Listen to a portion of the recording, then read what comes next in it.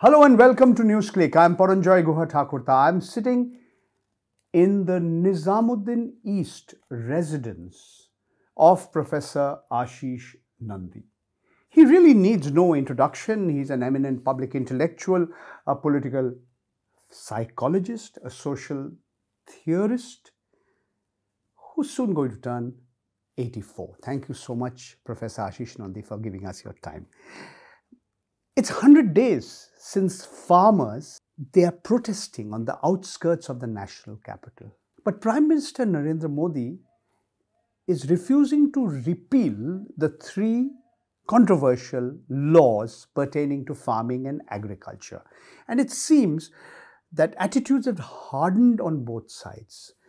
Would you say that it's now almost seven years since Mr. Narendra Modi became the Prime Minister of India? This is the biggest challenge that he's facing. Mr. Modi claims, and his sidekicks claim, that it is for the benefit of the farmers. It's a gift to the farmers. Farmers believe, at least a sizable section of the farmers believe, that it is a poison gift. Now, I don't know how you can insist on passing the laws in such a large number of far farmers reject it. I mean, I, if I want to give a gift to you and you refuse it, I will feel humiliated, but I will not force the gift on you. If they are so keen and if they believe that a larger number of farmers approve of the laws, which I doubt whether they do, really do, there are enough farmers in the BJP ruled states. They could deploy their new laws in these states and set an example to the farmers in other states. So they are seduced to accept these laws after a couple of years or maybe three years. But they have not done so. I feel there is something, a touch of arrogance there. If these laws are only applied in the BBC, uh, in the rules uh, The- the governed BJP by the BJP rule state, rules. states, Yes. uh, I'm sure that the farmers will give them the right answer there. If they like it very much and, ap- and approve it, they will, this news will circulate. Okay, let me interrupt you. Is it just arrogance or it is something more than arrogance? Authoritarianism. The way ordinances were first promulgated when the corona epidemic was at its peak. And then the laws were passed in parliament, but in the upper house of parliament, the opposition MPs claim they were not given an opportunity to air their views. Now, what we are seeing is, despite 11 rounds of negotiations with the farmers, it's a complete stalemate. Both sides are refusing to budge. So, is it more than just arrogance on the part of the Prime Minister of India? Maybe, but I would uh, suggest to you that uh, somewhere there is, if there is a motive, it is that of corporatization of agriculture. And the fact that at one time even Congress supported it confirms that part of the story. And I think the farmers, they presume the farmers to be illiterate or semi-literate crowd. Uh, what I am trying to say is this, that this concept, this contempt for the farmers as only good for being industrial laborers, blue collar workers of corporations which own the farms and who specify what kind of crops that should be grown and, and to what extent uh, is the price should be modified. All this is decided by the corporations and you only do the farming as uh, as employees, so virtually employees. This part of the story, the farmers have understood. The farmers protesting against it. And uh, so I would say this again teaches us a lesson that the farming community has a mind of its own, that they are not the naive, uh, not a naive, blind force driven by historical uh, processes. They have their own autonomy. There was there are three farming communities in the world which confirm to what I am saying. The Russian, the Chinese and the Indian, three great farming communities.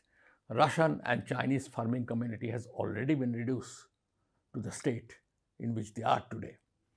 Indian farming community is one of the few which is resisting. Okay. Still. So you think there is any likelihood of a, this protests either fading away or an amicable settlement? I mentioned earlier 11 rounds of talks, but the, the government has said we are willing to postpone the implementation of the laws for one and a half years.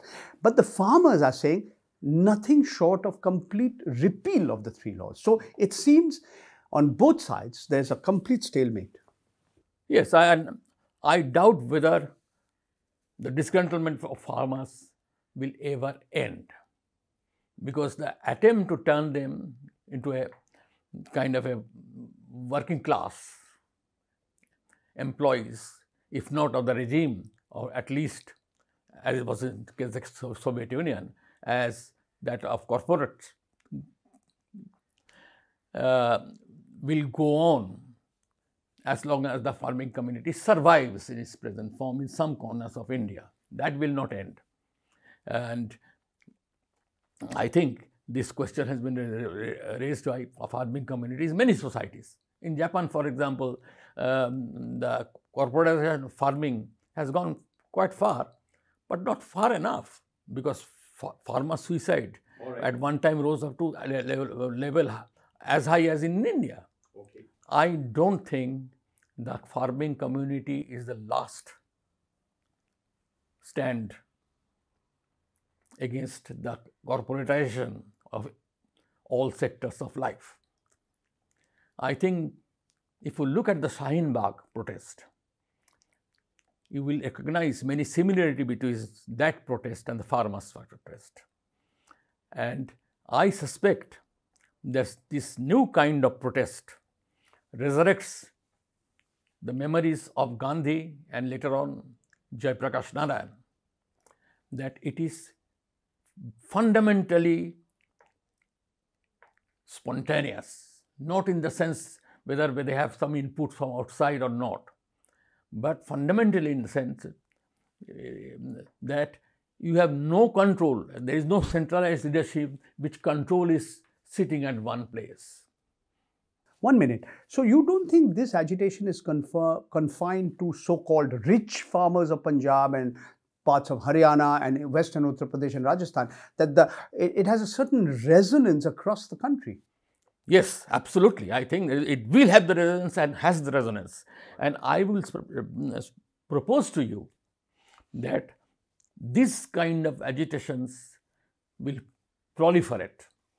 I mean, whatever the present regime might do, because a country as diverse as India refuse to be steamrolled in a monotonous community to become a proper nation, speaking the same language, speaking the, uh, uh, you know, uh, uh, following the same ideology and doing the bidding of the state as it interferes in every sector of life through the total control of media.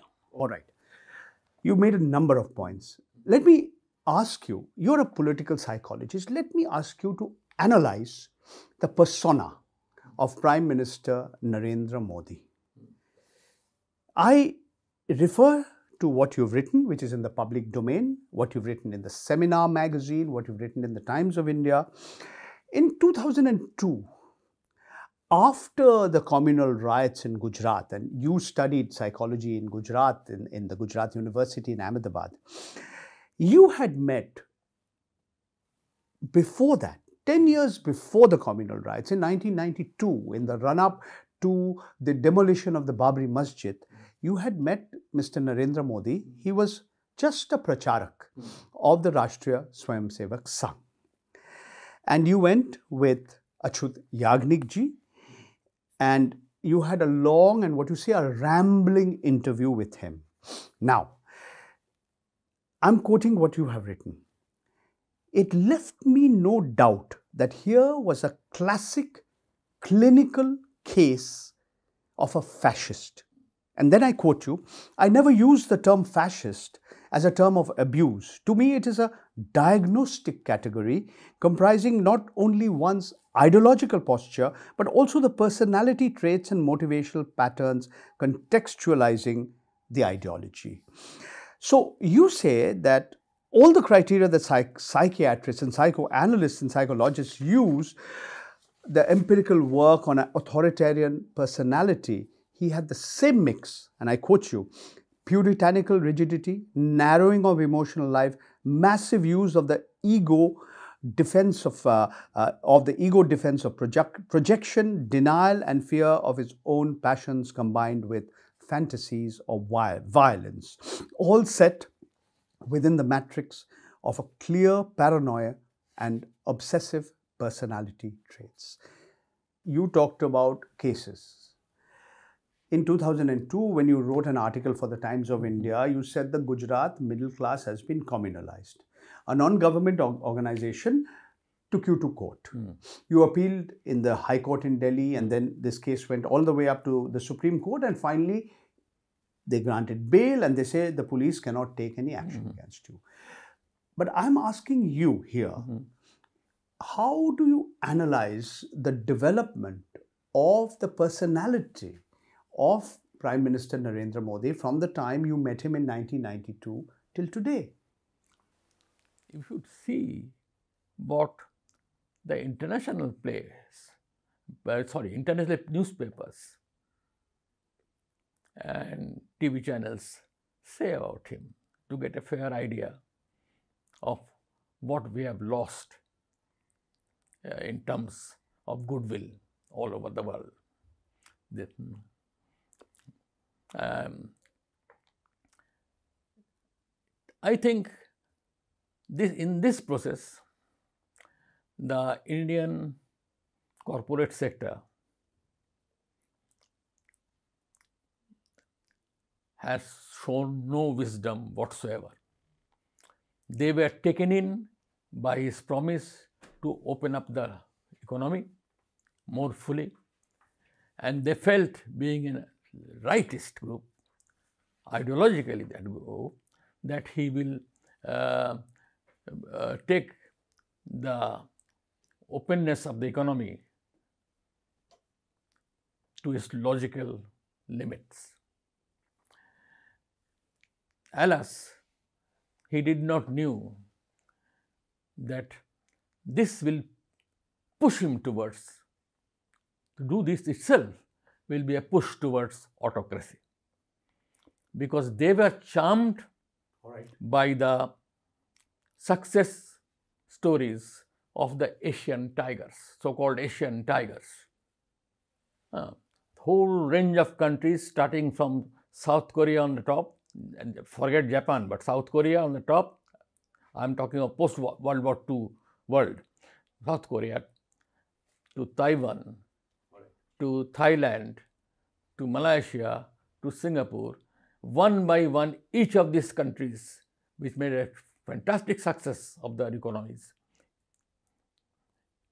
they turned authoritarian. Okay. Again, I'm interrupting you. I want to take you back on two or three points that you made.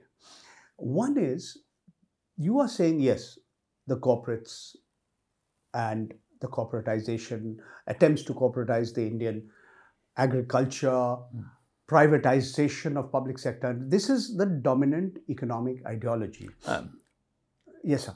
I'm, I'm, just I'm not saying it has become dominant That's right. It wasn't at one time. Okay. But I'm saying you made a number of comments. I want you to take on something. Does Mr. Modi really is he bothered that the international media or the international press is critical of him? You know, whether it be democratic institutions getting weakened, whether freedom of expression is being weakened, and and and uh, does it really bother the Prime Minister of India so long as he believes that his popularity, not with the literati, but with the ordinary people, remains intact? Yes, probably that is the case. Probably that is the case because Indian uh, de- democracy is in the hands of now what you might call, I've just now said this in another interview, in the um, hands of uh, the uh, lumpen elements basically. Those who are kind of a, you might call the deprived lower middle class and the marginalized and excluded sector previously, which is a very good thing, democratically. But the desperation of holding on to power is much stronger in them than the, pre- the, the privileged sectors. You know, so fortunately, the privileged sector is so small that it cannot rule without this sector, and therefore, a one-way media exposure, a one-way propaganda uh, uh, propaganda strategy it was something you- is, that is easily available to you as a reigning monarch. And this is also the way the Asian tigers turned undemocratic uh, one by one. I mean, there is a this book on the, how democracies die, which is mainly based on the Latin American data. I mean, that gives you very detailed uh, steps to autocracy in those countries. And when the Freedom House calls India a partly free, it has in the mind all these cases.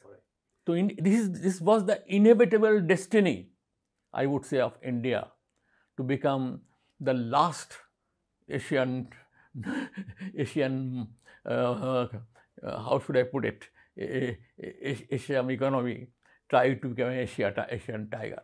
Uh, Sri Lanka got you know That, that means uh, you, you're earlier saying, than you're saying. India is the last of the Asian countries where you wanted to economically develop with a broad democratic framework well in place and not move towards an authoritarian yes regime. and uh, yes even if some degree of um, some degree of success economic success would be taken a little longer time All right.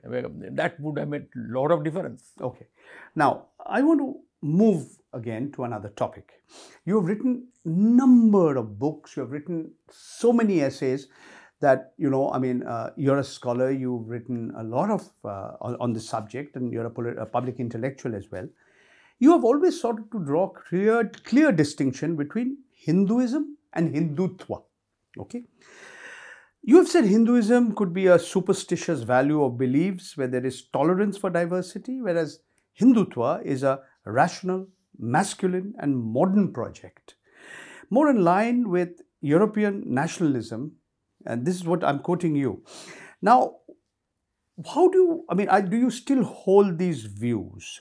I mean, in you had told the Caravan magazine in 2019 that the idea of a masculine state has become the dominant mode of thinking of a large section of Indians and, and who do not distinguish between patriotism and nationalism, between Hindu nationalism and nationalism. So, how do you see the so-called majority community in this country? Uh, how how would you describe them? I mean, is it that so-called right-wing Hindutvavadi Hindu nationalism is here to stay and has become stronger than ever before? Yes, it will take one generation or two to disillusion them. Uh, I am not uh, pessimistic about it. Hindutva survived many such challenges, and this challenge also will survive. Hindutva or Hinduism? Hinduism. Okay. I, I, Hinduism, as I have said. Uh, Hinduism will challenge.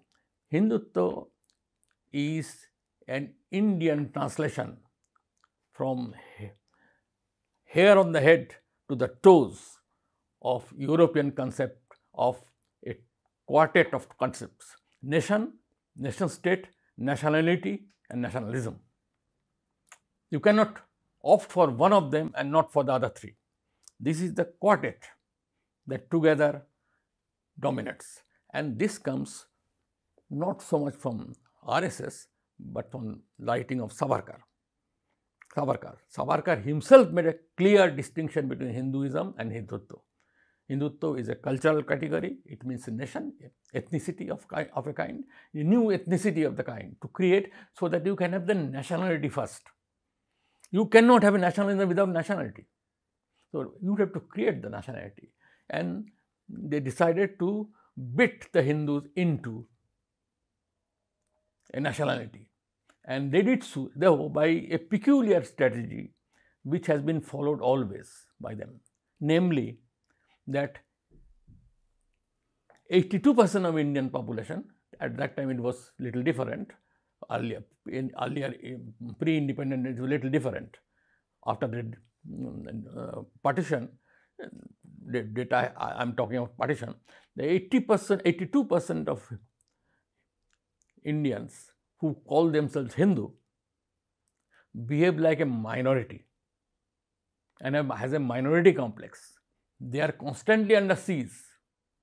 They are constantly trying to defend themselves. They are constantly fighting against internal enemies. These are all classical principles, all classical principles of mobilizing the majority against the minority. Right. This was the uh, uh, European nation states like Germany and Italy. I mean, they also came through a democratic process. Um, and this is what they do. This is not even, this does not have the Nazi efficiency with it. With it. And um, um, they have not taken resort to uh, extermination, but it has taken the Mussolini's model because that is more suited to the Indian conditions. Uh, you rule through local bullies and few national bullies. Thank you, Professor Ashish Nandy. Uh, let's hope your optimism about the resilience of Indian democracy is not misplaced. Thank you very much. You've just heard and watched Professor Ashish Nandy. He's a political psychologist, he's a social theorist, he's a public intellectual, he's written extensively, and he's talked on a range of issues from the farmers' agitation, its significance, to the personality of Prime Minister Narendra Modi and the future of democracy in this country. Thank you very much for being with us and do keep watching NewsClick.